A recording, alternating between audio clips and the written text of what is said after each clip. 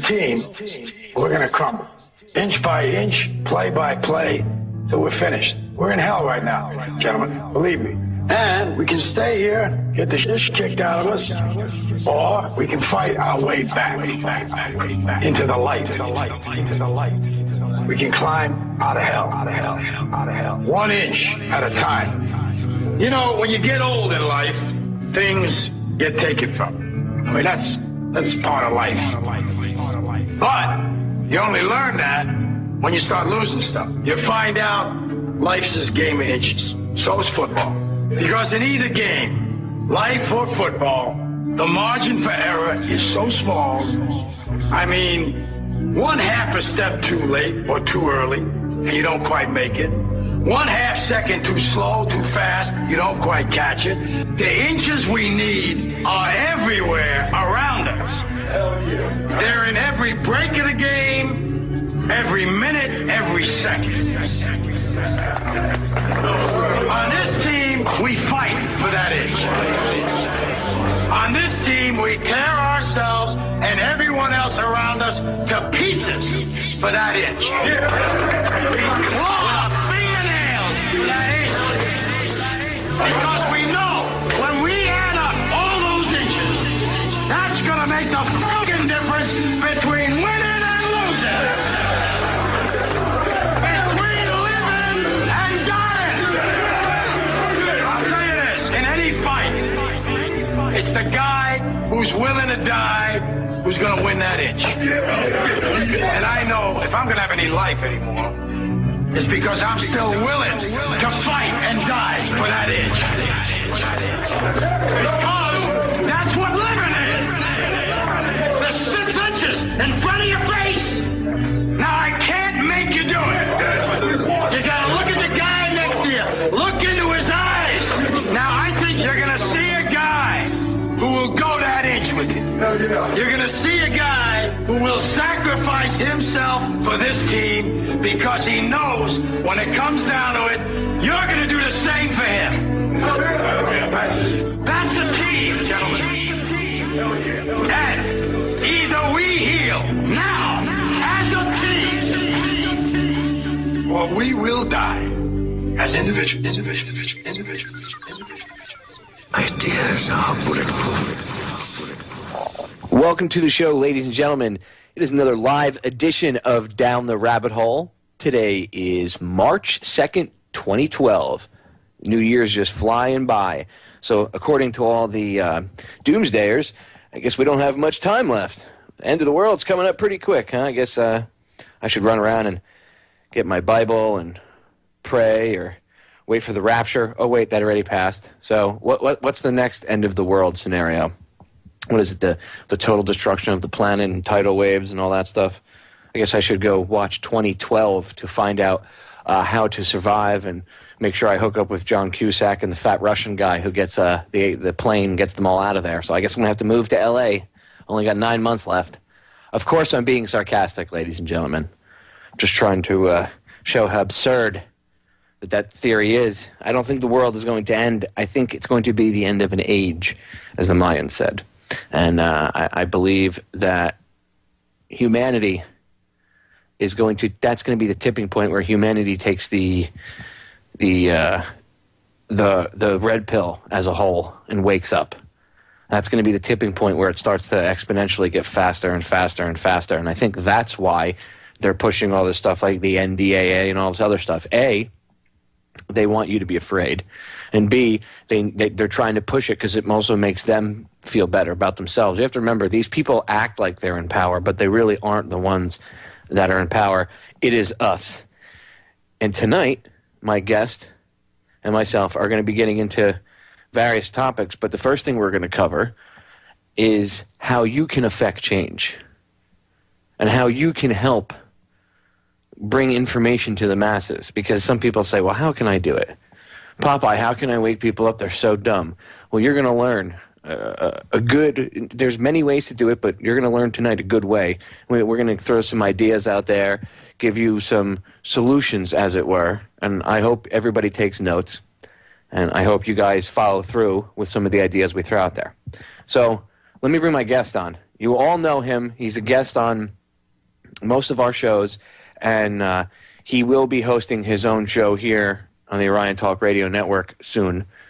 So let me bring him on. The one, the only, Mr. John Conner from Kanadistan. John, welcome to the show.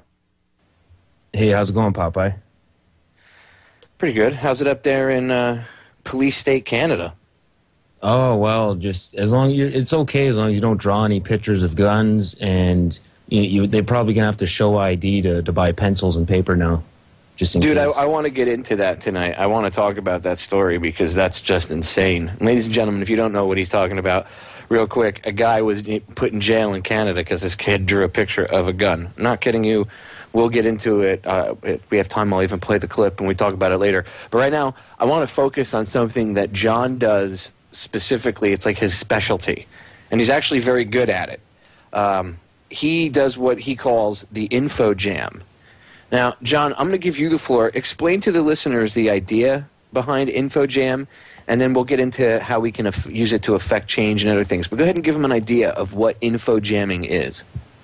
Okay, now say here's one, uh, for instance, would be say Facebook. Say I wanted to info jam uh, a, a video or something, uh, a link on on Facebook, some important information. Could be a news article, anything. So I copy the link, the URL for that video or that article, and I'll go around Facebook and leave some comments on some, you know, say some popular uh, fan pages, maybe mainstream media or just mainstream uh, TV propaganda pages that have you know hundreds of thousands, if not millions, of people that like their page and, and go to their wall all the time. So you just go there and you start commenting and, and uh, engaging with some of the people, and that's kind of how it started. And then it kind of you know uh, another thing you can do on Facebook is say you know you can upload a photo. So instead of just leaving a comment and pasting a link, you can upload a, a catchy photo and in the comment before you hit the upload button paste a link in there. And uh, it's kind of like a photo trap you know they'll see the photo they'll click on the link. And next thing you know they're they're seeing footage of building 7 for the first time or you know something like that that could be a for instance That's a good idea. I do that with Twitter all the time. I look at um, the trending topics, and if uh, you, you know, I'll see something that I could, especially something you could fit in with, you know, a, some semblance of truth. You can throw a link to an article in there. Uh, the other day, I forget exactly what it was. There was something trending, and it had um, two words in it that uh, would go along with uh, the title to another article. So I kind of tweak the title a little bit and then threw a link, and bam, it, it brought me like an extra 50, 60 hits within about 10 minutes just from Twitter alone because I have a couple thousand uh, subscribers. And I realized that other people were would once they realized what I was doing, they would retweet it. So, and I've done this before, and it works. It just works so well because it, p- pick a trending topic. Say you have one that says Disney, right? For an example. Well, this was actually um, one night we were on air. I think it was uh, like two weeks ago. It was during WTF, and uh, I didn't tell anybody what I was doing. I was muted, and I noticed that on, on Twitter, the trending topic was the Lion King. So I took because I guess it was on air somewhere and people were watching it, and everybody and their mother was, "I'm watching the Lion King." So I took videos of all the subliminals, like the sex subliminals and stuff in the Disney movies, and I put. Uh, I, I put like watch Lion King full length free here, and I put a link. You know, boom, sent it out, dude. That thing went viral. People were just, oh, really? Click on it, and then and then I went and I put um, hidden sexual subliminals inside the Lion King, and I made sure I typed out the words "the Lion King" because you want to make sure that it picks up that, and because it'll automatically if it's if it's typed out, if it's not like a hashtag, if it's something that you know Disney, anything you type with the word Disney in it, boom, gets put into that, and people will go look and say, "Hey, what's trending?" and then they'll look through all the tweets, and that's how you. I mean, that's how I expose people to truth. That's that's very interesting because I, I, I was totally unaware of this. I don't know exactly how Twitter works because I, I couldn't really figure out how it worked uh, in order to info jam it to make it you know successful. But uh, that's very interesting what you're saying there. You- Oh, it's real easy.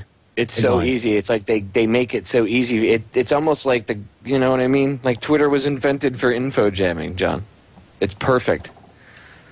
I'll have to I'll have to off air show you go over the, the the fine points of Twitter. I know a lot of other people that aren't into Twitter either. They're like, well, what, why do you use it? Because I have over 3,300 subscribers on Twitter. So when I post a new article, I just post a link and the title to the article, and it goes out to over 3,000 people. So Twitter's actually a really useful tool if you know how to use it. Ladies and gentlemen, we'll be getting into more when we come back. More solutions, how you can info jam, how you can fight the mainstream media, and how you can use their social networks against them. We'll be right back. All right, ladies and gentlemen, I'm going to give you an example right now live. Um, and, uh, like a good way to uh, steal a trending topic and use it to pump some information out or to info jam it. Okay, go to Twitter right now. If you look on Twitter, if any of you know how to use it, on the trending topics, you'll see a bunch of things. One of them is Uncle Creepy. Uh, now, when you click on it, it brings up, you'll see there's tons of all different tweets, and they keep coming in, you know, by the second. And uh, he's an MMA fighter. Okay. Well, if you go back to the homepage, right, and you see your little thing where you can tweet, just type in uh, the real and then Uncle Creepy, and then a space and put a link to um, what's the uh, name of the conspiracy of silence, the Franklin cover up. So like the real or real creep, you know, something with Uncle Creepy. So like, you know, the real quote unquote Uncle Creepy, and then the link. Maybe put a link to the articles, to the book, something. That's a, just a, a quick example, and you can do it all the time. If you pay attention to Twitter, once you go on there, you'll see the trending topics. You can change it, and you can make it for the United States. You can make it for the world. You can make it for just your local area. So it, it Twitter can be used as a very effective way of marketing the truth, for lack of a better term, because they use it for marketing to go after other people. Uh, you get spammers on there. Department of Homeland Security uses it to to get messages out. So if the government's going to use it, we might as well use it as well. And it's not that hard to use. It's very easy. I suggest you just do it from the computer because it's much easier to you know interface to do all this stuff from the computer than it is from uh, like a smartphone. But you can do it from both. But either way, you know, Twitter can be used as a very effective tool. Again, you could you could take these these trending topics and you can pick from just from your local city all the way out to the world and then throw links out there and the people that are checking those trending topics it'll pop up and you'd be surprised how many people i have a lot of followers because i do that i literally get about 100 followers a day on twitter it, it used to be you know it started off i would get like 5 10 and then it, it ebbed off at like 30 and now literally i'll get anywhere between about 65 to 100 new followers a day and it's because I keep doing this, and because people see the clicks, you know, they see the links, they click it, and they go, "Oh my God!" You know, there are people out there that do care about the truth. A lot of them don't see any of this. Uh, good, good friend of mine, fellow show host here on Orion, Tim Watts. He's been conversating with people uh, he knows off, you know, off air, and uh, just going around, you know, his daily business. And he always brings up the one thing that the, the drones, the 30,000 drones or whatever the hell the number is that they want flying around overhead in the next couple of years. And nobody knows about this stuff. And every time he talks to them about it, nobody ever says, oh, well, that's really, you know, that's a good thing. I, I can see that how that could be to protect us. Nobody is comfortable with it. So you can see how they only put that out there for a brief minute, you know, in the public, in the uh, the public theater, the general, the, general public's awareness, the arena of that awareness. It was only out there for a brief period of time, and then put away. The only place you'll find any real information about it is in the alternative media. That's a topic to InfoJam. InfoJam the fact that they're trying to take away the Second Amendment. You know, this UN treaty with Hillary Clinton, or should I call her Hitlary Clinton? I mean, this woman's evil. She's just pure evil. And this isn't her or Obama. They- eh, They're, although they hate guns, that's not that's not them trying to take. You know, people get too lost in this partisan crap. The left right right paradigm. Oh, it's the right side. No, it's the left. No, they're all working in collusion. They're all assholes. There is no right or left. They're all just scumbags. Politician means you know what politician means? Bloodsucker. Politicians are evil. Okay, they have uh, honestly, you don't need a bunch of people in a. And I'm not saying anarchy, but do you really need a bunch of 90 year old people that are out of touch with reality telling you what to do with the internet? Most of these guys don't even know how to use Facebook or Twitter. It's unreal. All right. Anyway, I could get lost on a rant on that uh, uh by itself. Um, getting back to the info jamming, John, you use Facebook. So, how do you use Facebook? As I know how I do it, but like I've explained it a thousand times how I do it, and I'll, I'll for this, you know, for tonight's purposes, I'll do it again. But I want to give you the floor a little bit. Tell the people how you do it because I, I, you do it the same way, but you also have your own little flair to it. Like when you did that video with Roseanne Barr, that thing went crazy, and that ended up getting up on, uh, um, what do you call it? She ended up posting it on her website, I believe. So you, Yeah, you've done a lot. Of, That I'm not sure how somebody just saw that video I made. That Yeah, but that thing went viral. I uplo- Exactly. I uploaded a copy of my, uh, of it too. I took your Gee. copy and uploaded it to my channel, and that went viral as well. It got nailed on sites.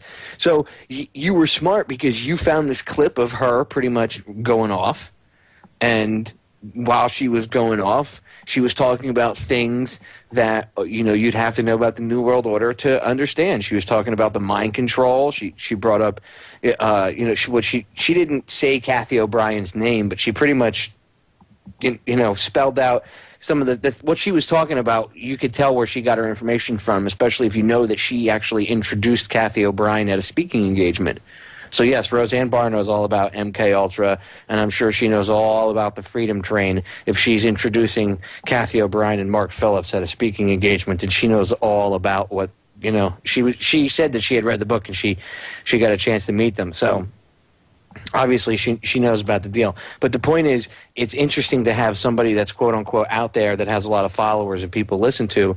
You were able to make an interesting video with uh, her rant, and it went viral because it was it it. It was a mixture of everything, but it was your use of it that made it go viral. You were the your intelligent marketing idea, uh, it, it, you know, if you want to put it that way. You got it. You did a really smart thing by you know throwing it up, uh, just the, the style of the video and everything. People like that. That is a good. That's a good form of activism. If people can't, you know, what am I supposed to do? I I live in, you know. Antarctica, what the hell can I do? Or I live out in the middle of nowhere, what can I do? You can do what John does. You, he makes videos all the time. I like when you make you make a video like promoting Ron Paul or something, and then you you title it something completely different.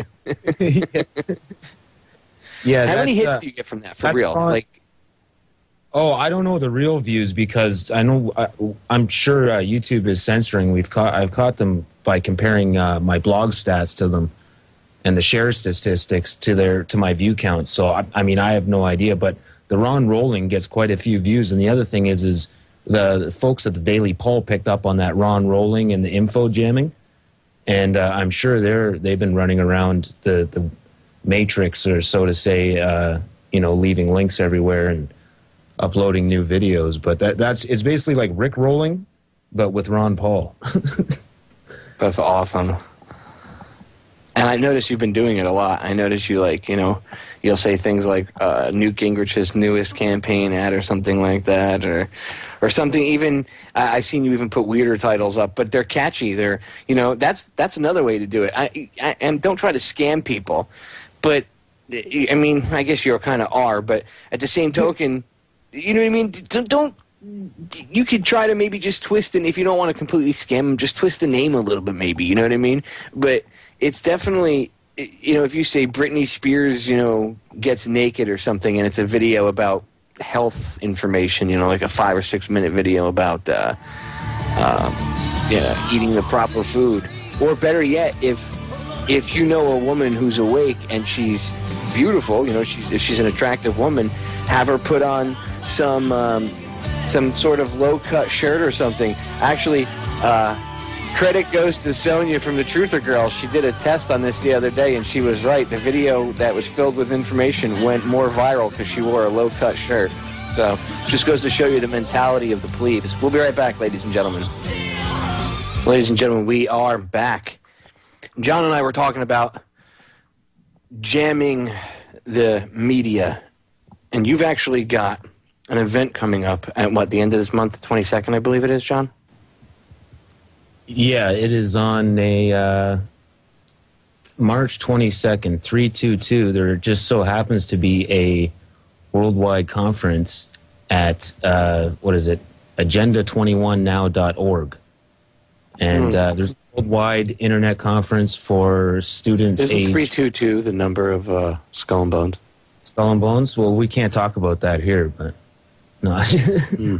to quote George Bush on that. Uh, That'd be interesting if that was there. I think that's the number. If it is, of course, that would be why they would having. Interesting that they'd be having Agenda 21 meetings on that day. But go on. I didn't mean to interrupt you. So you guys are having some sort of an event on the 22nd. Well, they are at agenda21.org. It's a uh, worldwide international conference. I'm not sure. Maybe a video conference, may just be audio. I'm not sure if we can paste links there or not. I'm, there probably will be a ch- text chat. So the way we do this is we, I just go there and, and sign up for the conference, and I'll be there to uh, talk to the youth, and, and I'll have some information for them. Uh, and that's what info jamming is. A lot of a lot of activists. I know when this first started about a year ago, you know, anonymous was a big thing. So a lot of people would get into this, and they'd all have their anonymous pictures up, and it's like, look, we're not hacktivists. We don't. I don't know how to hack. We don't hack. We go right in through the front door. We'll sign up to news websites. You know, with my email address, we'll sign up and comment on articles. You know, I'm not. You know, this isn't about going in the back door. So we're just going to go to the conference and uh, try to engage some of these kids that uh, they're trying to brainwash and un- undoctrinate them. I like that. Undoctrinate them. Try to Yeah. expose the expose them to some truth. It's pretty hard nowadays. I mean, they don't get it. In, they don't get it in school. Most of the school system is now. It's amazing. They're all using iPads and computers and stuff. When I was a kid, you weren't even allowed to use a calculator. Uh, Only at certain times during the day could you, you know, uh, if the teacher let you use it during you know, regular you know, if you're just doing like multiplication tables or, you know, or not even tables, but um, like mathematical equations and stuff, and you needed a calculator for it. If it was during class, that was one thing, but if it was a test during class, you couldn't use a calculator. You weren't allowed. Took your mm-hmm. SATs, you weren't allowed to use a calculator. You had to use pencil and paper, man. You had to do it with your brain. And now everything is computerized. And Charlotte Iserbyt talked about that. She said that they were going to do that back in the 80s. She said they were they're going to dumb everybody down and the the the eventual goal is computers and now they want to put everything on computers. They want to use ebooks. And what better way to wipe something out than have it on an ebook or change it? You know, you go to sleep, chapter 32 says Abe Lincoln was a great president. You wake up, chapter 32 now says Abe Lincoln was a crappy president. You know, and it's just an e- it's a quick example. Yeah, Go on, yeah, John. it- that's that's definitely it. But I mean, uh, so anyways, back, we're gonna go to this uh, info jam, the the UN thing, and and see how that works. But lately, uh, we had an idea, and I don't know if maybe you or Bob or somebody will want to get in on this, but we want to call up the weather stations uh, and ask them about geoengineering and uh, some of this radiation that's going on, and just you know just kind of info call them and and put them on the spot, so to say. And I mean, I know we've got our local uh, weather network uh, website here, and I've been uploading photos and videos to their to their website. They have a place, so I sign up to the website, and you can upload your own photos and videos. So I just start uploading chemtrail photos and. can't, you know what in the world are they spraying? All right, we'll upload this to the weather network and uh, see how they like it, right? Um, so yeah, we're working. Michael Murphy's got a second one coming out. Uh, it's coming out, I believe he said, sometime in October is what their their target uh, month to release it is, and it's called "Why in the World Are They Spraying?" And they go into the the why end of it. I just had him on a couple. I think it was last week. I had him on, and uh, we got into it, and I did a podcast with him uh, about it. So you guys could, you know, info jam them with that too, because I mean. That's a good thing. And there's what did he say? I forget the guy's name, Scott Stevens or something like that. Some famous weatherman. Uh, he got fired from his job because the guy spoke out about uh, geoengineering and chemtrails and stuff being real, and he ended up getting fired from his job because of it. So Uh, I mean, you can info jam that. That'd be a good idea. Take when that movie comes out, take the clip of this famous weatherman and jam the weather stations with it. And Yeah. people should do it now too. That's a good idea, John. Like when the Weather Channel, you, people should email the Weather Channel, or if they if they allow call-ins ever or whatever, emails, call them, call your local newsman, harass them, and say, you know, hey, what's up? Why don't you ever talk about this? And if they say, "Oh, that that doesn't exist," be like, "Really?" And show them the clips of the uh, of these other weathermen talking about it. And when they what do they call it? Chaff. Oh, that's the military. They sometimes they spray chaff as a as a way of uh, for testing. Six and days. of course they're not. it's five years. Yeah, six days a week. Yeah, exactly. six days a week, three hundred. You know, It- it- it's dude. It's it's crap. It's a lie. You know what they're doing. Yeah. It's geoengineering. How's is Canada getting sprayed like we are down here? Because we're getting hit down here hardcore. Yeah, they're spraying us like rats and cockroaches. It's ridiculous. I, I never see the sun anymore. You know, it's what's it like outside? Well, we've got cocaine line cloud cover rolling in, but the weather weather station doesn't seem to report it. They just put fluffy clouds, uh, fluffy clouds, overcast sky. Meanwhile, look outside and it's like a crisscross board with a you know this chem cloud canopy over top. You got can- sun dogs all over the place. I mean, it's some piss yellow haze in the sky. That after they spray like an hour or two, it kind of gets that like that hazy, just ugh. Like you could tell there's crap floating around in the air. You're just like God, and it's I blocking when- everything. I remember when Dee's illustrations uh, years ago seemed uh, a little, uh, you know, a little over exaggerated in some of their chemtrail. They had some ridiculous ones. Now that that those ridiculous photos that he's that he drew are reality in our daily skies.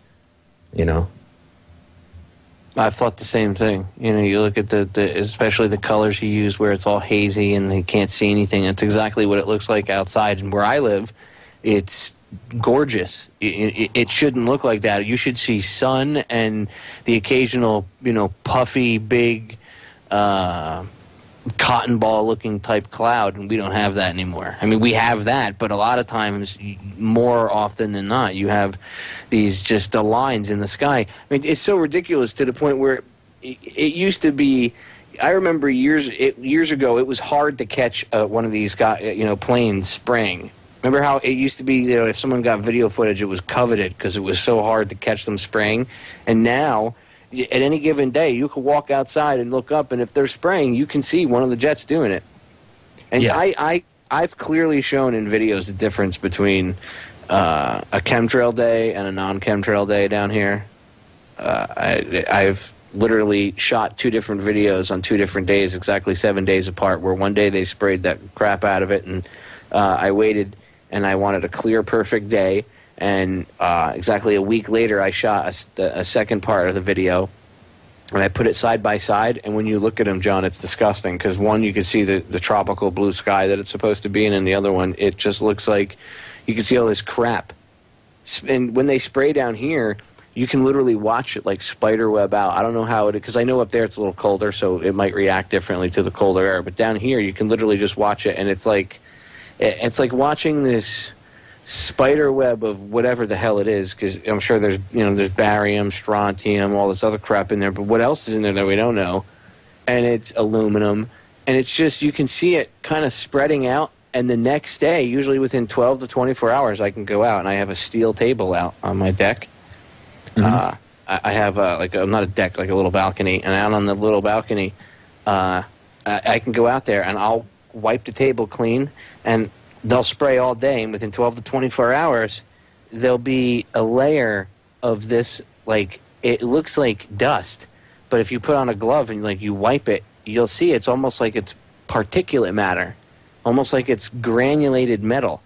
Now if all that crap is you know building up in a 12 to 24 hour period on my table is that going in the food the lung my lungs my animals lungs my wife's lungs the grass the water supply i mean it's really disgusting you could do simple tests to check for crap in the air in fact i'll tell you how to do that when we come back stay tuned Ladies and gentlemen, we are back with the final segment of the first hour. Now, during the break, I had a question. Somebody uh, sent me a question through Skype, and they asked me. Uh, they, they said, you know, it was a funny thing that you you mentioned the, those uh, trails off of planes. Uh, I haven't seen them. You know, I've seen them a couple times now, and I was talking to my friends the other day, and we didn't know what they were. And what is that? Uh, it, it's amazing how everybody is starting to wake up and just you can't not see it. I mean, you walk outside and you look up and you go, and the sky didn't look this effed up when I was a kid. I mean, little kids now in the future, they probably won't be able to say that because they'll be like, man, the sky always had those lines in it. But when I was a kid, they, I remember a time when that crap wasn't in the sky. And the only time you saw a contrail was if a jet was flying at like 30,000 feet. Now, you don't, you do not see that it's not normal for stuff to be coming out of the back of a plane and just have, you know in the air for an hour before it dissipates.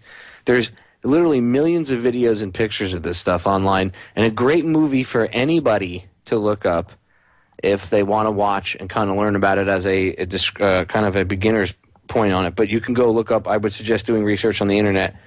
On uh, you can go on federaljack.com, which is my site. Go on the intelhub.com. I know they have a lot of articles about chemtrails. They're they're heavily involved in this. Uh, between just uh, our two sites alone, there's a ton of information about it. Look up Evergreen for people that are interested and know their uh, know their history. Evergreen is the name of a company now that sells quote unquote firefighting airplanes, but they also make planes. They they make planes that can spray pretty much anything basically. And this company is actually a front company a front company, Popeye, a front company for who? For the Central Intelligence Agency. Evergreen Air used to be known by a different name. Can anybody take a guess? You know anything about the drug trade out of Vietnam, John? Uh, no, but I'm just going to take a guess here. Is Evergreen uh, partly owned by uh, the Cheney, Rumsfeld, Bush team? Well, I'm sure if you dig into it, I'm sure they're in there. But the CIA, it's actually a CIA front company. Are they the ones that sprayed like, the? Go on. Did, are they the ones that sprayed the Corexit as well? Uh, you know, that's a good question. I wonder if they made some of the planes that did spray some of the Corexit because a lot of that was um, put out to. I mean, I know the Coast Guard was spraying, but a, a lot of that stuff was put out to uh, to task to private contractors who had specialized planes with tanks and stuff on it, and that's what Evergreen makes. But they are formally known as Air America. If anybody knows anything about the Vietnam War, look up Air America. That is who Evergreen is. It's a CIA front company. Now, Air America specialized in running drugs and guns. So you don't think that they would get involved in other aspects of things? It, it's the scope of this is so big, it's unbelievable. I mean, look, they spray here, and I'm in Florida, and John, you're what, 1,500, 2,000 miles away up in Canada, and you have the same, you have the same crappy experience with the, the crap floating in the sky and getting sprayed as we do. You know? Yeah, it's not just in the cities because folks will say, oh, well, you're in a major city, they're just doing it around the cities. And I've gone five hours north, eight hours north of Toronto, which is like eight, nine hundred kilometers in the middle of nowhere. There's no town, big towns or cities. It's just tiny little dinky towns in the middle of nowhere, and it's tic tac toe boards, you know. So it's it's it's not just the big population centers. Dude, the craziest thing I ever saw in the sky down here, and I, I have a video of it. I have to find it so I can re-upload it because it was on one of the older channels that got taken down. But I shot it with my cell phone, um, and it was it, it, was almost a complete circle. There was a four in the sky, and there was almost a complete circle around it. And I looked at my friend that was on the ground, and I said, "Yeah, because clouds do that, and because contrails do that. That's natural." And another thing, nature doesn't do things in perfect right angles. Nature doesn't grow things at perfect 90 degree angles. That's man. That's sacred geometry. But okay? the square square clouds coming in aren't normal, you mean? Yeah, right. yeah, it just amazes me. You, I put a, I put together a video about uh, Hurricane Erin, and uh, Erin was a Category Three storm that was actually supposed to hit New York City and the East Coast on 9/11. and uh, it suddenly got bounced out to sea like a pinball by this high pressure dome that comes down. So I put the video. All I did was I didn't say that that's exactly what happened. All I did was put the evidence up there, and I put this this simulation. Uh, the History Channel actually did this uh, uh, this show, and they talked about it, and they showed this simulation of how they could steer a hurricane using these high pressure domes. And I put I, I shrunk that down, and I put the actual satellite footage of Hurricane Erin from NOAA, and you watch the two of them, and dude, I'm going to tell you, it, it's almost like they they literally uh, made this video showing what they did with Hurricane Erin. You know what I mean? Like the, the video that the History Channel did was done out, you know, years after 9/11, but it's almost like they watched that video and almost mimicked what it did because it's just incredible. It's incredible how this, the high pressure system comes in and bounces it. Anyway, I also in the video explained, you know, how geoengineering, seeding the clouds and stuff like that. Just the basics, not going into super details about chemtrails and everything because it was already long and there was enough information that people were going to say. I knew they were going to be like, "Oh, that's bullshit." Well, I got one. I had a guy tell me, "If you think we can manipulate the weather, you're crazy." And I laughed because set, uh, cloud seeding goes back to the 50s. The British were doing it. They actually flooded out one of their own cities. It's on. They actually the RAF now. You know, years and years later, they've admitted that playing around and seeding the clouds, they accidentally caused this massive flood, which killed civilians and flooded out a couple uh, towns, villages, whatever the hell they were at the time, back in the 50s. We did it over the Ho Chi Minh Trail, Route 1, or Highway 1 as they called it we we couldn't bomb the crap out of it. We we bombed the crap out of it. We couldn't shut it down, so we flooded it out. How do you think we flooded it out? We made it rain. We extended the monsoon season. What they say? Ben Livingston was the first guy that did it. Jones interviewed him. He said it was uh, they extended it by like three or four weeks, or maybe even five weeks. They extended the monsoon season. They wiped out the whole supply line. With what bombs and millions of dollars of bombs and bombing runs and everything else, what that couldn't do, they were able to do with Mother Nature. Now, what kind of perfect weapon would Mother Nature be? Think about that for a minute. Can you imagine that, John? You could cause earthquakes, you could and, and tsunamis, and and have you know natural disasters in country which countries and kill millions of people. Oh, wait a minute, that's happened already. Hmm. Hmm. Well, I wonder if there if there's no such thing as tectonic weaponry or we- weaponized weather, then how come there are treaties going back into the 80s and 70s, international treaties, not to use them on other countries? I'd have to go back and dig for the names of those treaties. No, that's a good point. You're right. There are there are treaties back, uh, I, I, I, at least in the to the 70s. I know of, even maybe back into the 60s, that uh, and I know of definitely in the 80s they talked about it that they didn't want you know Russia to use an earthquake weapon on the United States, and you did you know Russia didn't want the United States to use it on them. Remember that that Russian general that or he's an ex general now he's um, parliament or some. You know, I'm talking about the one that came out. And, oh, we wipe you off right after Japan got hit by a, a, a tsunami. He's like, we wipe you off the the map. He was talking to Georgia because Georgia was, you know, we were screwing with Russia through Georgia, and uh, it, it, they pretty much. She said, you know, if you keep effing with us, we're gonna, you know, look what happened to Japan. We could do the same thing to you. We have weather weapons and stuff. And he, there's a video on YouTube about it. It's like a year and a half, two years ago. I forget the guy's name. I couldn't try to pronounce it even if you wanted me to. Like Vladimir something or whatever. I'm probably even wrong on his first name. But just look up Russian general talks about scalar weapons or weather weapons or, or earthquake weapons this kind of technology exists. Think about it. The, the president could order a strike on, let's say, Iran. You know, Iran a couple years ago, I remember, was it like 10 years ago now? They had this massive earthquake, killed, I think, a couple hundred thousand people. Hmm. That area is a massive, massive earthquake zone. The Middle East, I mean, you can have, you, you, first of all, you can have earthquakes. All that whole area is prone to earthquakes. But where Iran sits, it's actually uh, not really. I, I, wouldn't consider Iran to be part of the Middle East. I would say Iran is kind of uh, slash Middle East slash Asia because it's right there at the cusp of both. But um, they have earthquakes there. You don't think that they think about that for a second. If the president, know, why wouldn't they use that instead of nukes? Well, they like John said, they have treaties.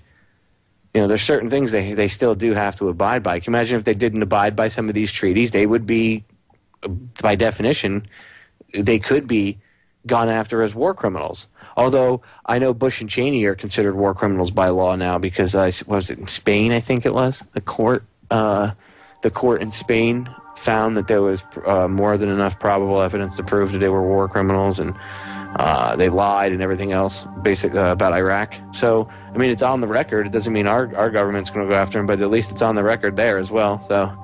But this, getting back to the weather stuff, this again, they what would happen if Bush decided he didn't want to play and, and, you know nice, and they wanted to use the weapons against the country that pissed them off, or what happens if these ruling elites that because it's not really Bush or Obama. What happens if they wanted to use it against another country like mm, Japan?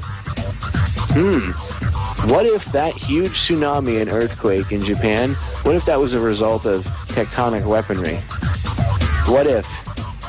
Wouldn't that be effed up? Who would be responsible for all those deaths? All right, ladies and gentlemen, stay tuned. Hour one, number one flew by. Hour number two coming up. Ladies and gentlemen, we are back with hour number two here on tonight's edition of Down the Rabbit Hole. I am your host, Popeye from FederalJack.com, and I'm joined by my good friend John Conner up in Canada, Stan.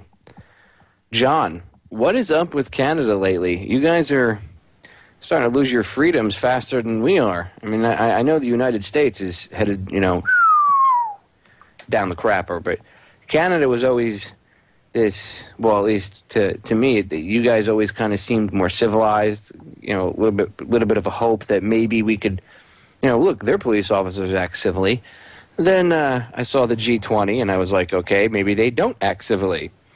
And now you guys are just headed down the same road as the United States. Uh, like you brought up the first hour, some guy got arrested for his daughter drawing a picture of a gun. That's insane. What do you think? Yeah, it is. It is pretty insane. It's basically it's borderline. It's basically a thought crime. He got arrested for somebody else's thought crime. Somebody else used their mind and decided to draw a picture of, of an object, and then he got arrested for what somebody else drew. It's not like he even drew the picture of the gun which again is not a crime. you know? So that'd be like if I got arrested for you drawing it, you drew a picture of a gun, and I got arrested for it. I mean, how does that even make sense?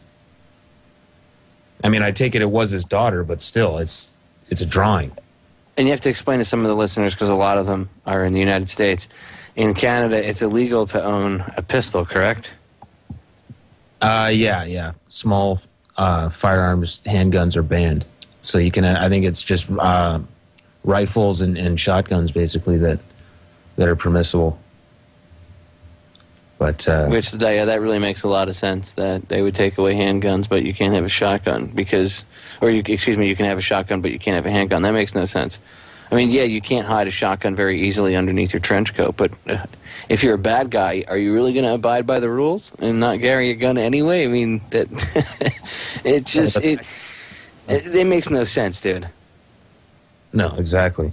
So I mean, now in in, re, in, a recent poll, even on the Communist Broadcasting Company, the CBC we have up here, uh, they they had a recent poll over gun rights. Can't remember the exact wording, but yeah, it looked like it sixty uh, something percent of Canadians felt that they should have the right to to have a gun in their house to defend their property, which is which really surprised me because I was like, whoa! All of a sudden, Canada likes gun rights. All of a sudden, that's that's strange. you guys were a little more liberal in that area. You guys weren't really like very very big gun enthusiasts. So that that's actually nice to hear was that I guess that that made you feel good, right? You were like, wow, more people out there like me. Yeah, well, I mean, I I think they're starting to see the dangers, and that government is not going to protect them from anything.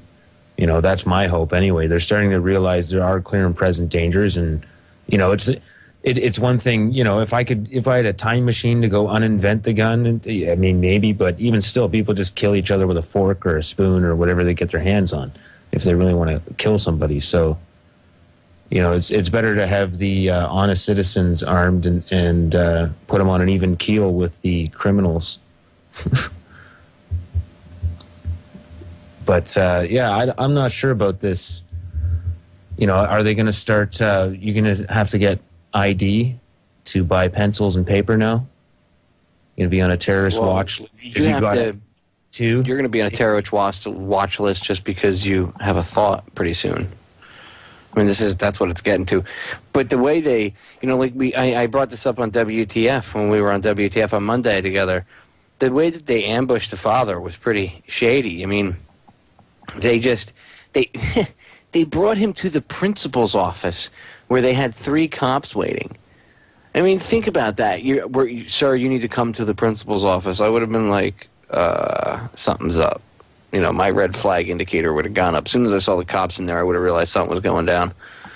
That's just insane. You're under arrest because you're. We have, uh, you know, we have belief because your daughter drew a picture that you have a gun in your house. Are you insane? She's a kid. She watches television. How about if she was a boy and she played video games?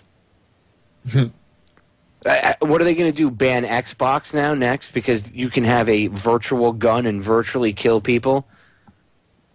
I mean, think Well, about how stupid that is. It's everything's at one extreme into another. So you can't draw a picture of a gun, but you can have a video game that goes around blowing people's heads off. Right? And that's like the sole purpose of most of these first person shooter games is to kill everybody and everything in your way. Yeah. So it just it doesn't make any sense. You can't draw a picture of it and the guy goes to jail and gets his rights violated, but at, you know, we don't want children around guns. We had school shootings or whatever, but at the same time you have these kids being exposed to Call of Duty or any other number of violent video games, and that's okay. You know, the Call of Duty video game gives you points, extra points, and awards for slitting someone's throat. And sometimes you get a, a neat, a neat, uh, very uh, clean, high resolution graphic uh, cinematic of you know cutting a guy's throat or stabbing him uh, in some you know really awesome, cool way that the special forces would. But you can't draw a picture of a gun without having the cops come to your house. Does does that make any sense? What would happen if the kid saw the gun in the video game? It's even worse because it's not even as if he drew the gun himself. It, somebody else drew the gun and with a crayon at that. So I'm not It's sure. this Look, kid drawing a picture of a freaking gun. Dude, when I was a kid, I used to draw tanks and planes and soldiers shooting each other and, you know, all this other crap. Never once did I get, you know, oh, you're violent. You draw violent pictures. We never had that when I was a kid. I mean, that's what boys did. If they doodled, they doodled stuff like that or footballs or something.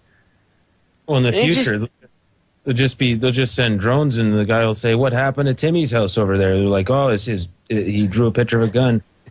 Or his kid was You know- walking with a stick like a gun, and they just yeah." You know, we could people could think that we're joking around about it, but that's kind of what's pretty much going to happen.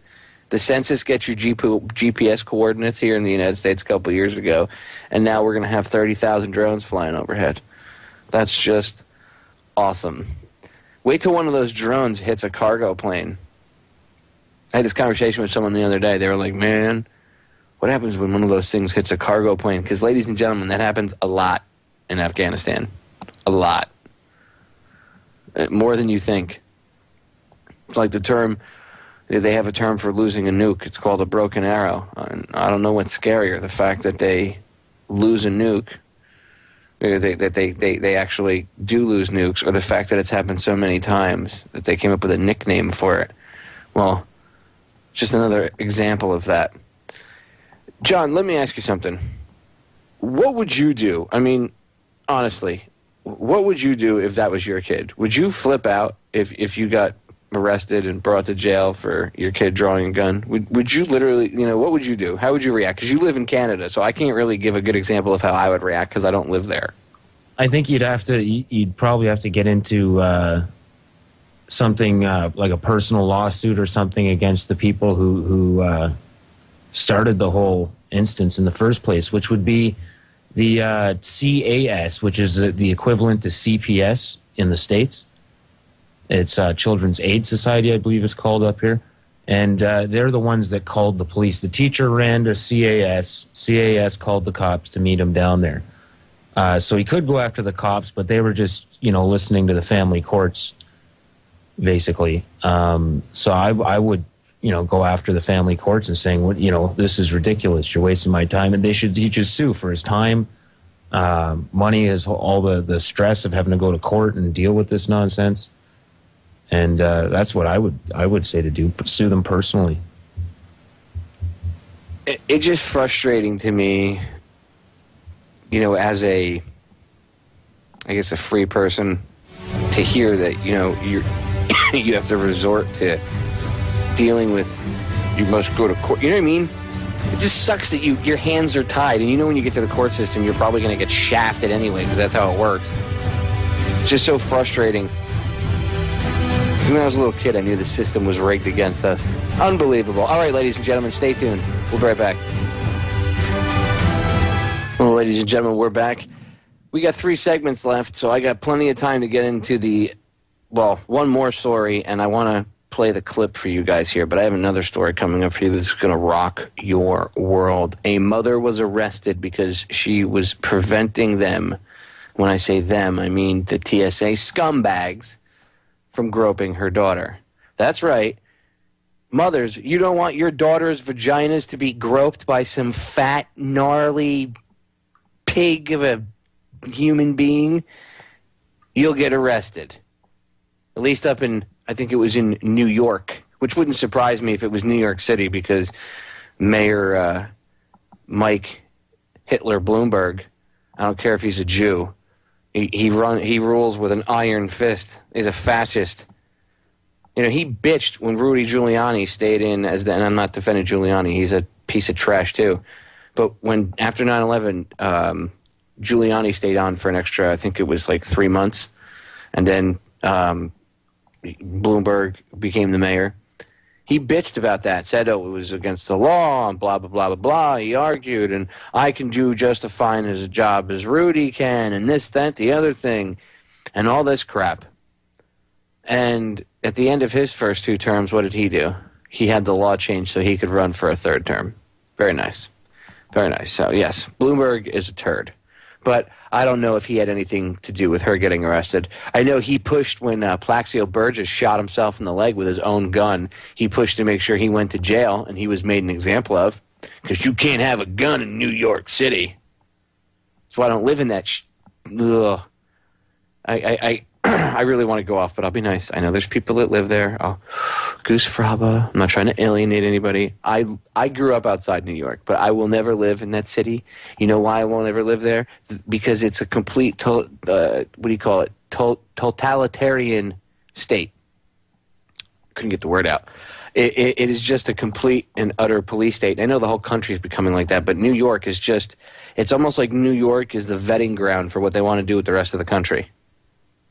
And a lot of things that go on there do eventually go to other parts of the country. The poli- all the police departments in this country look up to New York City.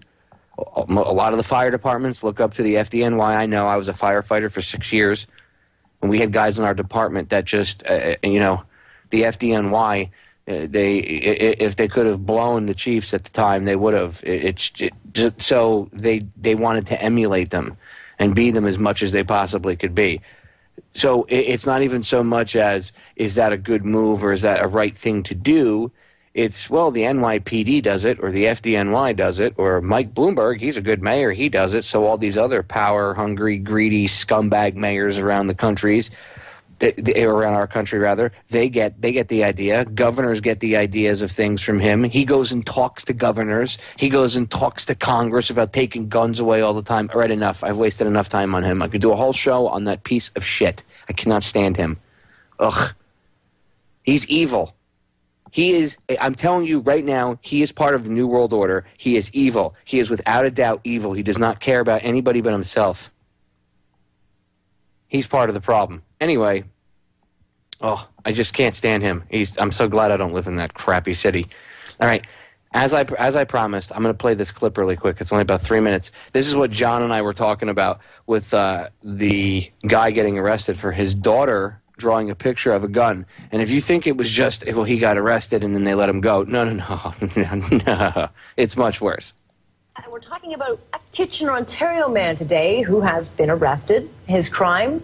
Well, his daughter drew a picture of a gun at school. Police hauled him away to the station, strip searched him, all because of his four year old's drawing. So let's bring in Brian Dunstan, who's been following developments on this story. And the more you hear about this, this story, the more ridiculous it, it comes. If it were not such a you know, threat to this guy's life and reputation and that the, the well being of his daughter, it's ridiculous. Absolutely. You know, I, Alex, you look at this story and it's more than a head scratcher. You got to really raise an eyebrow and think, how can a, a little girl, kindergarten, draw a picture that has such almost long-lasting repercussions. Here, let me paint the picture for you, not to be punished here. A four-year-old girl goes to school, draws a picture of her father, and uh, the teacher asks the, pic- the little girl, what have you drawn there? And she goes, that's my daddy shooting burglars and monsters. Teacher takes the picture to the principal. They call Child Protective Services. Child Protective Services calls the police. Father comes to the school to pick up his kids. Gets taken to the principal's office where there's three police officers waiting for him arrested, charged with possession of a firearm, handcuffed, walked out of the school, taken into the back of a car, and all the way to the police station where he's strip searched. No weapon was ever found. Now, there's some question as to whether their house was searched. That hasn't been determined yet. But the uh, man who was arrested, Jesse Sansone, only signed a release after he was released. So there's a lot of questions about whether the authorities even had the right to do what they did. But the bottom line here is how do you take a picture from a four, a four-year-old girl in kindergarten and extrapolate from that that a man is in possession of a firearm? It's a leap of logic that has some people scratching their heads, and as I said off the top, raising an eyebrow.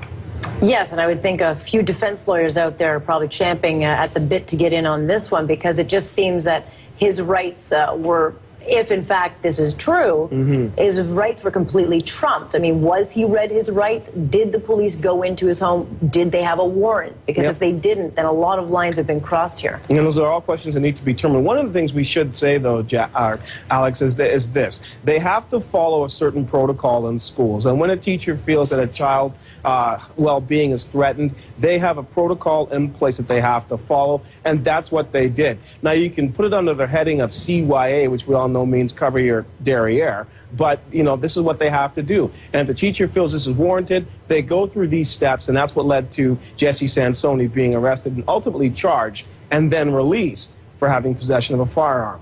My question would be Did they talk to the parents at any time? Were the parents called and questioned? Mm-hmm. Well, as near as I can determine, Alex, that was never uh, part of the process. They went right to Child Protective Services, who went to the police. Police showed up, and boom, Jesse Sansone was taken away. Further to this, too, the, they, the police went to the home and brought the mother with their 15-month-old child, who was already at home, to the station. The children were taken and questioned. The mother was sitting there not knowing what was going on. All she knew that her husband was in custody and charged with something. She was unsure.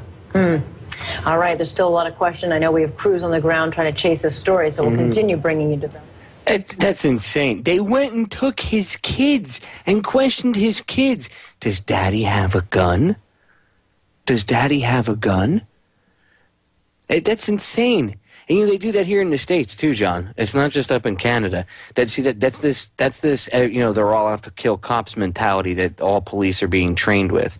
You know, the civilians, everybody wants to kill you if they're not a cop or a lawyer. You know, or you know if they're not in the community, they will they want to get you. You know, society's full of scumbags, and we need to, you know, we need to weed through them. That's what they're taught. It's just insane. I mean, it's insane that this guy got arrested up there by your cops uh, for having a a, a, you know his daughter drawing a picture of a gun. But that kind of stuff, that kind of insane thing goes on down here in the states too. I mean, it's out of control.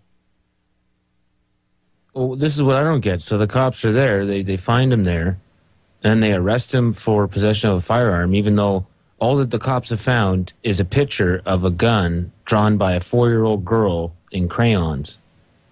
Well, that's so what the what the one newscaster said. How do they extrapolate from a picture that the guy's got a gun? And if they searched his car and he didn't have a gun and he didn't have a gun on him, then he didn't break any laws and they just violated his rights. They should have let him go. But no. From that, they go and they search his house and they didn't have a warrant or anything. They just went in and searched his house. And then take his kids. That's that's insane. Stop that's insane. Say again, John? It's Talk Canada. Yeah, Thought Crime Canada. Thought Thought Crime Canadistan. Eh? All right, ladies and gentlemen, we're going to break. Stay tuned. We'll be right back. Ladies and gentlemen, we are back. Here's the article I wanted to read you. Mom goes to jail for protecting daughter from TSA. It's from the Patriot Update website. And I reposted it over at federaljack.com. That's where I'm reading it from. People are calling her overprotective. I call her a hero.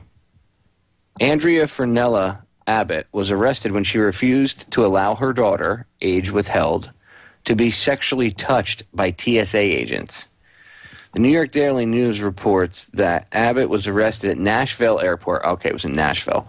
She was arrested at Nashville Air- Airport when she shouted and swore at TSA agents, telling them she wouldn't allow her young daughter to have her, quote, crotch grabbed, unquote. Abbott's daughter was singled out for a pat down after Abbott refused to go through the airport's body scanners. Notice the daughter, the young daughter was was chosen, not the mother, the young daughter, because hey, she could be a terrorist, so we have to pat her down. Just this is what I talk what I mean about no effing common sense. Security theater. You want to know why? Anybody that lives near an airport can tell you that the planes fly right over them all the time. It would be easier to do something to the plane when it was in the air than on the ground because there's less protection. Okay? Anybody with half a brain knows this. So this is all security theater. And this isn't about security. It's about getting you to bend to their will. And they're using your fear of a fictional enemy to let them touch your daughter's crotch and grope your wife. And I, for one, can't fly because of this. Because if someone touched my wife, the guy would have two broken arms. Anybody that knows me knows I speak the truth. I would knock someone out for doing this. I've, I've, I've, look, I've had people do less towards my wife, and I took it very badly. So this, this would not fly. My daughter, if I had a daughter and you tried touching my kid, I would lose my mind. I'd lose my mind. I would lose my effing mind. And you know, John and I were talking about this during the break, and we're we're going to get into we're going to get into uh, the the something else, another aspect of you know if someone did so such and such to a kid, what what you would do. Uh, but right now, I want to focus on the, the TSA thing for a second.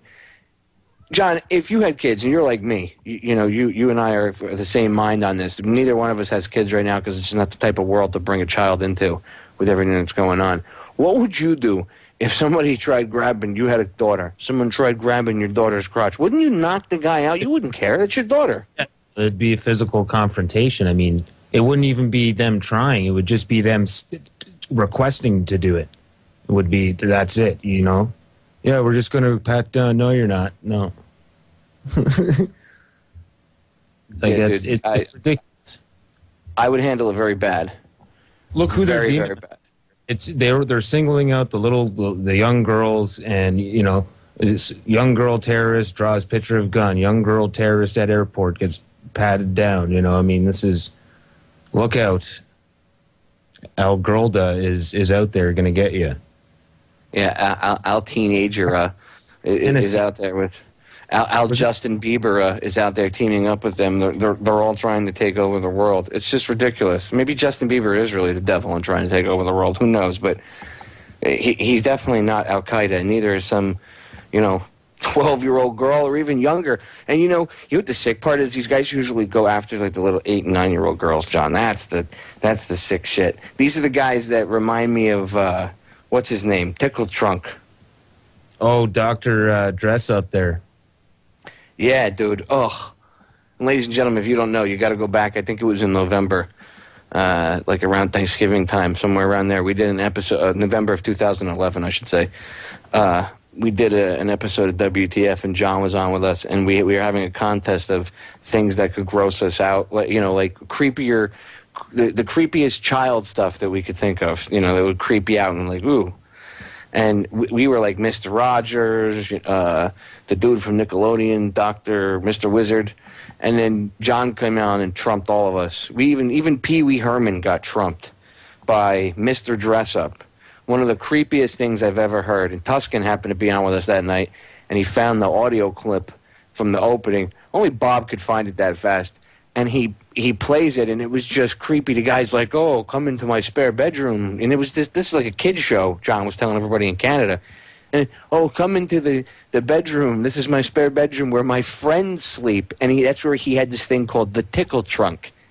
And I, we, you know, we've joked on and off since then. Like, you know, you, you'll you'll hear, especially on WTF, but even on this show or other shows, somebody will say something, and you'll hear the tickle trunk get brought up. That's what it means. It was just this creepy children's show. Ugh. Well, these Did you ever watch that show when you were a kid, John? Uh, yeah, I didn't like it. My sisters watched it. It was uh, not a good show. It was Gee, well, pretty well, you didn't tight. like it. It's traumatizing. But these are the type of folks we got uh, applying for jobs down at the TSA because who else would want to grope women and children and other strangers? Dude, Uh, Mr. Dressup's in charge at the TSA. That guy is probably a supervisor. Yeah, he's he, Manit Napolitano is underneath Mr. Dress Up. That's a bad picture of mine right there. Yeah. Man at Napolitano. That's my favorite. Her, that and Man Coulter. Yeah. And yes, ladies and gentlemen, they are evil. Those th- those two vile, spewing, oh, they just spew hatred. Both of them. Man Coulter more. The, the other one kind of just she has the you know, uh, Manet just has a a uh, this over uh, overt hatred for freedom and uh, everything that is good. Man Coulter just runs her mouth. I think it's interesting that her book is called Demonic, John. Because once her attitude starts going, you can't get her mouth to stop. That's the thing. Once her Adam's apple starts going. Uh, I could feed all of uh, the the starving nations of Africa with Man Coulter's Adam's apple. uh, God, she is a deplorable human being. Yeah, that was And I'm somebody not- else. I'm not liberal. I'm not a I'm not a flaming lefty liberal by any means. You know, I'm not I'm not right wing. I don't buy into either paradigm. But I don't. eh, you know, I, I'm not picking on her because she picked. You know, she's she's she's a conservative woman. But that's not why I'm picking on her. I'm picking on her because she tells people that radiation is good for them, and that the Japanese people around Fukushima should be glad that they got bathed in radiation. Or she says things like there was no asbestos in the World Trade Center towers. Oh yeah, she said that. She said that on Eric Bolling's show last year. They did two hit pieces on Fox. One on Morons in the Morning. That's Steve Doocy and those other idiots. Okay, I call them morons in the morning. Yes, they they had one on their show with James Meigs from Popular Mechanics, a man with no engineering background whatsoever. Used to be the like, former editor in chief over at uh, Entertainment Weekly, but yeah, yeah, he he's a he's someone good to have because he knows what the hell he's talking about to debunk 9/11 conspiracy theorists. And uh, the other one was with Man Coulter uh, on uh, Fox Business with Eric Bolling, another douche. And Man said that there was no asbestos in the World Trade Center, and that's why it burned so fast and fell down into a pile, and everything was turned to dust. Then and unfortunately, people will believe that crap. what do you think of the uh, MSNBC's uh, R- the Randall Mad- Maddow show? Uh, she's another one. I can't stand her too. You know, when Bush was in office, you had uh, Chris Matthews and all them over there whining and you know fighting a good fight supposedly, right? And then as soon as Obama gets in office, it's all mm, they just switched roles. Yeah, You know, that's all they did. Fox News became the anti. You know, anything that's anti-Obama, they'll air it. yeah. It's ridiculous. It's all game. You only you only have one choice, right? You have what CBC it is. This is a, a version of the BBC. Yeah, the communist uh, broadcasting co- company. Yeah, it is BBC owned. Yeah, So it's like BBC Light, basically, up there. yeah. BBC Kanadistan, the CBC. And then we've got some local channels, but yeah, it's all controlled mainstream media. Same propaganda. They they try to play it uh, a little less ridiculous than the U.S. to try to seem more credible, but it's it's still all lies. Let us never tolerate out. Do you guys watch our media, like our news, with while eating popcorn and candy and stuff, like going to the movies? Because it's, I know it's got to be entertaining as hell. Away from the terrorists Half themselves. of our cable channels, and more than half of them are U.S. channels. People are Oh. always asking me. No wonder people in Canada are so brainwashed. All right, ladies and gentlemen, stay tuned. We're going to break. When we come back, final segment. Don't go anywhere. All right, final segment of tonight's episode of Down the Rabbit Hole. I want to thank all of you for listening. Again, you listeners are the reason why I come back and do this three days a week, plus all the podcasts I do and the stuff with Federal Jack and all the video editing and then going on other people's shows. I do it all for you guys and to bring you the information. So thank you for taking the time out of your day or night or whatever, depending on where you are in the world, and tuning in. I do appreciate it. Love y'all. All right, before I forget, I want to have John plug his websites, uh, or his website, I should say, and uh, his YouTube channel because we're probably going to end up going right up to the end of the show, which we nor- I normally do, and I, I want John, I want his work to get a little light on it. Uh, spread his videos, you know, take a, a page or two from his notebook, uh, as it were, and run with it. Do your own type of info jamming. So, John, go ahead and give yourself some shameless plugs. Um, yeah, you can find a, uh info jam the mainstream on Facebook. Just uh, facebook.com forward slash info jam the mainstream, and uh, you can find everything, uh, all our stuff, our other websites, and my Facebook and YouTube channels on my blog, which is uh, johnconner1984.wordpress.com. And uh, yeah, if you scroll down the bottom, you'll find links to the YouTube and Facebook and everything else.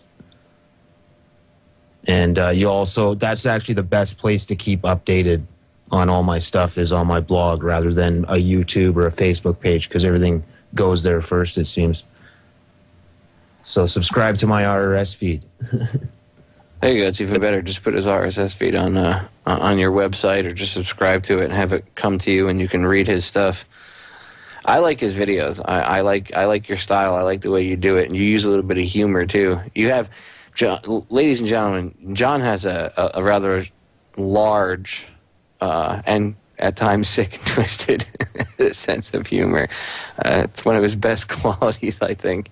Uh, and uh, I, I actually can't wait to hear your show because I, I want to see what kind of stuff you get into. I know you. I know you can be serious when you want to be. Like we've been somewhat serious tonight. Actually, mostly serious tonight. But I know that you can throw one-liners and stuff out there that you know make people think. So I'm interested to see uh, uh, how your show goes. Um, let me ask you this before I I, I get into. Uh, I have one final thing I want to cover with you, but bef- I, I want to kind of deviate for a minute. I, I didn't cover this. I, I, haven't. Uh, I know other people have, but I, I haven't covered this. But I want to get your take on it. What do you think of Andrew Breitbart's sudden demise out of nowhere, right before he's supposed to release some Obama videos or something? You think it's shady at all? Uh, it, it sounds shady, but I haven't looked uh, too deeply into it myself. I've seen the headline and, and checked, you know, the initial report, but it's. It, I guess it really depends on the information that was going to be leaked and and how damning it is, or you know, it is suspicious uh, on on how they reported his death. It seems there's two different. You know, there's a, a few different stories on where he died, or a couple different stories on where he died you know, some media saying he died at his house, some saying he died in front of a, some hospital or something. I don't know. So, you know, I'm not I'm not 100% sure on that. And the other thing is I wasn't I've heard of Andrew Breitbart, but I wasn't familiar with his work myself. Well, I'm not a big fan of his work. I mean, I find it kind of suspicious that he said that he was going to release videos and then he he drops dead. But no, I'm not a big fan of his stuff or anything like that. He's he was actually very uh, he was very right wing, but he was very much. If he believed it or not, I don't know. Person, you know, if he personally believed it or not, I don't know. But he, the way he talked, if I if I had to judge it based on the way he spoke uh, publicly, and the way he blogged, he really believed in the left-right paradigm, you know, the, and he pushed that whole idea of right versus left and the liberal left, the liberal left. And yes, there are people that have that mindset that do, you know, have access to power and uh, have a certain amount of influence that quote unquote are of the liberal left. But he I don't know if he knew it or not, but he he did push that. He helped you know keep pushing that paradigm and keep people in that that that false mindset that it's this you know it's the the left uh, or, or the you know oh they're they're crazy no no no the right's crazy you know no it wasn't like that. They're all scumbags okay? None of them care about anybody at all. There is such a disconnect with the people in in congress. If you want to if you want to prove how corrupt the system is vote for ron paul. And everybody says popeye why do you say that? Why do i say that because if Ron Paul got like 80% of the vote in an election and they still said, oh, he, like, let, let's say, for instance, they gave him the nomination, right? And it was him versus Obama. And he got like 80% of the vote. He would automatically win. So eh, what would happen if they tried to switch it and Obama got, you know, they, they switched numbers so it looked like Paul only got 20%, yet 80% of the country knew that they voted for Paul? There would be a problem. You think eight, that 80% of the country would sit down idly and take it? No. I'm not saying that 80% will vote. What I'm saying is if you look at it that way, and you you you look at it that even if Paul didn't get the nomination for the GOP, say they put Romney or Santorum or some douchebag Gingrich, whatever, right? Say they give it to, to Romney, and if everybody that believed in Paul, everybody that believed in his message, if everybody just be- that believed in freedom, you don't even have to like Ron Paul. If you, like freedom, you like being able to get up and wear what you want to wear and say what you want to say. Do you like the fact that you can listen to my radio show at close to midnight and hear me say the word shit on air because of the freedom of speech? Do you like that? Do you like that you can even listen to this radio show? Well, then vote for Paul. Even if you don't agree with everything, vote based on freedom. Because it's the only thing, first of all, if he did get in, then, you know, we'd hold them to account. Now you got to do what you said you're going to do. But you, it, it, would send an overwhelming message. They wouldn't be, it would expose the corruption. If 80% of the people voted for this guy and, you know, they said, no, Obama won, it, it would, it, do you realize how many, that would wake up, a, you know what I mean? Obviously, if 80% of the people are voting for him, they're awake. But do you realize my point? Even if 45 or 50% of the country voted for him and they said, no, it was a landslide victory the other way around, blah, blah, blah, blah, blah. You would have so many people that would be able to expose that fraud that eventually that would exponentially grow, and even people that would have voted for the other guy would see. Why do you think there's people that vote for uh, Ron Paul now that voted for Obama in 2008? Because they've woken up. It's exponentially growing. The truth spreads like a virus. It just is. It doesn't matter. You, the truth never needs excuses. The truth, you know, my mother used to tell me it's easier to remember a truth than it is a lie because a lie, if I'm telling you a story for the first time and it's a lie, okay, and I've made it up in my head, you're going to remember it because it's an experience that you shared with me. But that lie, I'm not going to remember because people don't remember lies. Usually they, they, they have to lie on the spot or something. Uh, and even if it's a long thought out one, eventually over time, they forget details. But the person that you told the lie to, they remember it because it's a fresh experience between two people. That's their, their perspective of it, you and them. So it's in their head. And you go and do other things and you'll forget little minute details, but that person won't. And that's how people get caught in lies. Whereas the truth is just the truth. You never have to worry, you know, about remembering the truth because it just is, and you know it is. And there's always evidence to back it up. So it's it, it, it just try to keep that mindset. What say you, John? What are your thoughts? Um, I don't. Yeah, I, I guess the truth is the truth. You know, there's no, uh, there's no two truths. There's no, there's no three truths. You know, two plus two doesn't equal four, and five and six. It only equals four. You know, but the the UN and all these globalists they want to tell us that. You know, two plus two can equal five, and it can equal six, and it can equal ten, and and, but it can't equal four all us that are saying it equals four, well, we're nuts and, and we're we're terrorists. We're a bunch of uh, gun drawers. You know, basically. You ever hear the cops say to people, "Oh, you're you, you're one of them that reads books too much"? Yeah, Like and book reading guys, aren't you? That's yeah. That, that's why they have they you know they go after guys that have the brain power of a piece of toast because they, they, they don't want anybody to have any common sense. TSA fired all the the, the employees that had any common sense.